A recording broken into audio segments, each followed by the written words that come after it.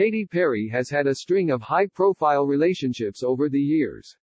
She dated singer Travie McCoy for two years, had a brief marriage to comedian, actor Russell Brand, and dated singer John Mayer on and off for a few years as well. Now, at 35, she's engaged to the man she calls the love of her life, actor Orlando Bloom. Just days ago they made an exciting new announcement, but it wasn't their wedding date. In an interview with Jimmy Kimmel in February of 2019, Perry told the story of how she and Bloom first met. Three years prior, she was sitting at a table with Denzel Washington at the Golden Globes when someone reached over and took an In-N-Out burger off of the table. He took it and I was like wait who, at that point, Perry saw that it was Bloom and interrupted herself saying, oh my god you're so hot.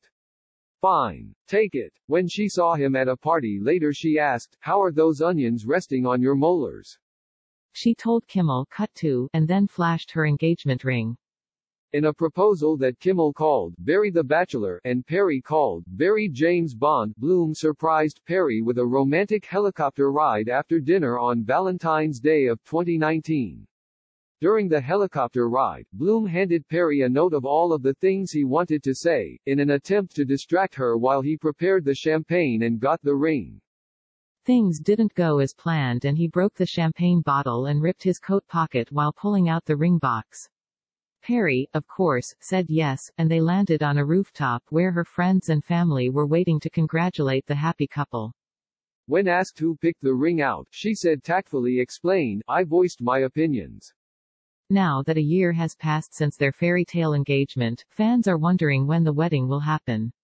The event has already had a few possible dates that were rumored to have been rescheduled, the latest reportedly due to concerns over the coronavirus. When Stellar magazine writer Brie Player mentioned the upcoming marriage, Perry responded with this dodge.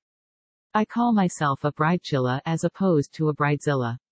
Orlando and I are united with our approach. It's not about the party, it's about the coming together of people who will hold us accountable when things get really hard. Because it's really great and then it's really hard. Those are just the facts when you're with someone who challenges you to be your best self. It's unknown when the two will make it official but apparently Perry wants everyone to know she's not stressing out about it.